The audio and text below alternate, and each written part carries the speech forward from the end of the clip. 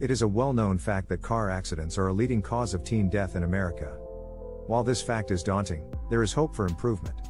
Strict licensing statutes and teen driving laws have been proven effective in battling the teen mortality rate on the roads.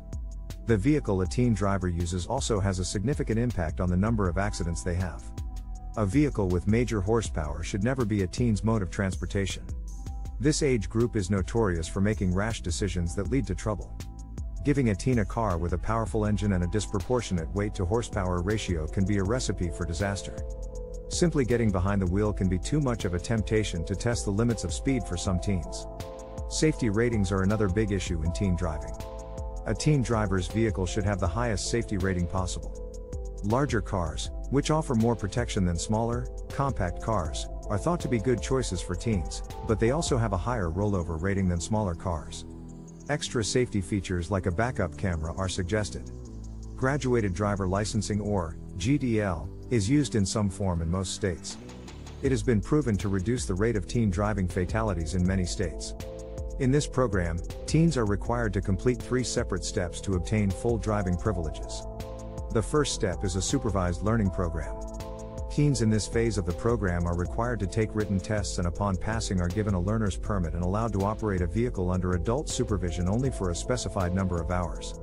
Once the supervised learning phase is completed, the student will receive an intermediate driver's license. This allows the student to drive without supervisory observation but requires the teen to follow a number of set rules. These rules can include curfew restrictions, cell phone and passenger restrictions, and a limit on driving infractions. After age and testing requirements are met, students can obtain a full fledged driver's license. The actual requirements and restrictions for teen driver's licenses vary from state to state.